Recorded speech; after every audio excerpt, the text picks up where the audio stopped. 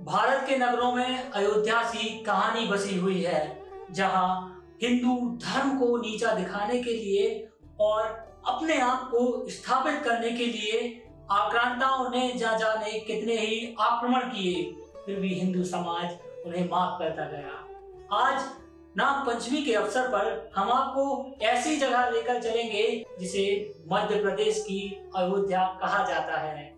नाग पंचमी का त्योहार। आज के दिन यहाँ हिंदू धर्म के लोग एकत्रित होकर सांकेतिक पूजा करते हैं। साथ ही यह कामना भी कि मंदिर के तालों को खोल दिया जाए। मध्य प्रदेश के विदिशा शहर में स्थित विजय मंदिर का निर्माण काल संभवतः नवी या दसवीं सदी माना जाता है, जिसे चालुक्यवंशी राजा कृष्णदेव के प्रधानमंत्री वाचस्पति ने बनवाया था। उस काल में विदिशा भारत के प्रमुख नगरों में माना जाता था। धन संपदा और अपने ऐश्वर्य व वैभव के कारण यह मुस्लिम आक्रांताओं की आँखों में कांटे की तरह खटकता था। यह मंदिर तत्कालीन समय में विश्व के विशाल और विराट मंदिरों में शामिल था। विजय मंदिर की लंबाई व चौड़ाई करीब आधा मील तक थी एवं इसकी ऊंचाई 105 मीटर तक होना बताई जाती है। इसकी तुलना कोणार्क स्थित सूर्य मंदिर से भी की जाती है। यह भव्य और दिव्य मंदिर ज़्यादा समय तक सुरक्षित नहीं रह सका। 1233-34 में मुस्लिम हमलावर इल्तुतमिश ने इस पर हमला कर दिया। मंदिर के साथ वह विदिशा नगर को भी लूट गया। संघर्षशील तत्कालीन समाज और राजा ने 1250 में इसका पुनरुद्धार कराया, परंतु 1290 में अलाउद्दीन खिलजी के गुलाम मलिक काफूर ने विदिशा नगर पर आक्रमण कर विजय मंदिर को पुनः ध्वस्त कर दिया। मलिक काफूर ने वहाँ रखी सुंदर मूर्तियों को भी नष्ट कर दिया।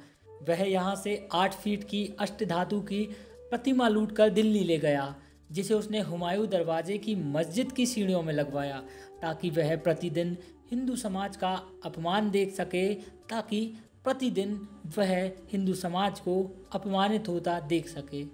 विजय मंदिर पर हमलों का सिलसिला यही नहीं रुका। चौदह साठ में महमूद खिलजी और फिर पंद्रह में बहादुर शाह ने इस मंदिर और शहर पर हमला करके इसे लूटा। विदिशा शहर और विजय मंदिर 700 वर्षों तक मुस्लिम मतताइयों से लड़ता, जूझता रहा, लेकिन कभी हार नहीं माना। यह मुस्लिम शासकों के हृदय में सूल बनकर हमेशा चुपता रहा। 1632 में थक हार कर औरंगज़ेब ने इसे तोपों से उड़वा दिया। इसके सभी भाग खंडित हो गए, जिसके बाद मंदिर को औरंगज़ेब ने मस्जिद का स्वरूप दे दिया। हालाँकि 1760 में विदिशा के पेशवा मराठा शासकों ने इसे पुनर्उद्धार करवाया। उन्होंने इस मंदिर को पुनः मंदिर का स्वरूप दिया।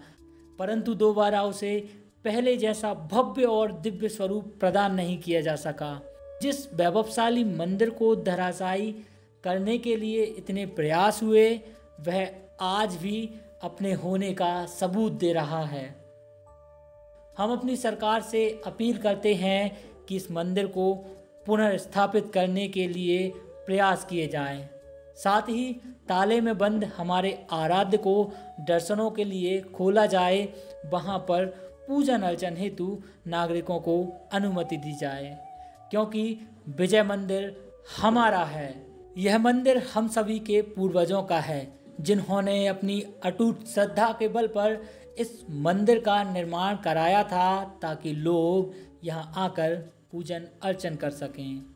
विजय मंदिर का पुनरुद्धार हो एवं विजय मंदिर पुनः स्थापित हो एवं विजय मंदिर पुनः श्रद्धालुओं के लिए खोला जाए, ऐसी अपील हम अपनी सरकार से करते हैं।